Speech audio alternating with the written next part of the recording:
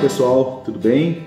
Eu sou o Marcelo Souza, sou fundador aqui da Ilumine Consultoria, sou membro da Missão Mobilização de Curitiba, é, também né, sou co-idealizador da Escola Reino Negócios e atualmente é, estou atuando na presidência da Cridas.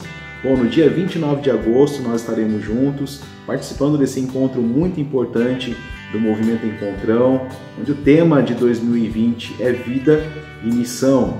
E nós estaremos compartilhando é, o que nós chamamos da matriz empreendedora do Reino de Deus. O que é esta matriz? Bom, essa matriz vai é, nos nortear no entendimento é, do que nós estamos desenvolvendo em nosso tempo em termos de negócios e como, por meio desse, dessas plataformas abençoadoras, nós podemos promover justiça e podemos proclamar também as verdades do reino de Deus.